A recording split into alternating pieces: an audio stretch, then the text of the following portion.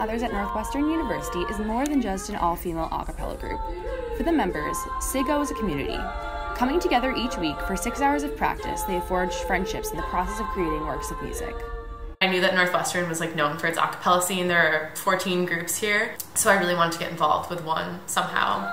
And I ended up in SIGO, and I am so happy I'm in SIGO. It's literally the best thing that ever happened to me. When I first came to Northwestern and my own friend group was not really as established, I could always count on every Tuesday, Wednesday, and Sunday I would spend two hours with a group of people that I really liked.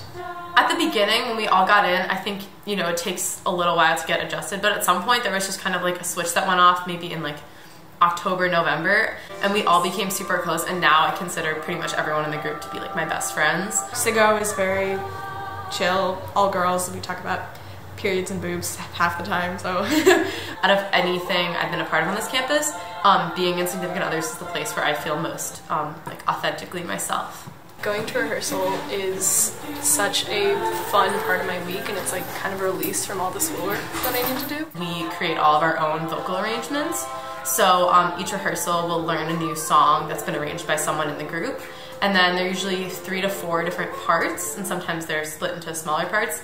And then we'll listen to the song, break out into our parts. In the beginning, we usually just spend the entire two hours working on one song or maybe two songs. Um, now, because it's closer to Tech Week, we are doing more songs because we're just trying to memorize them.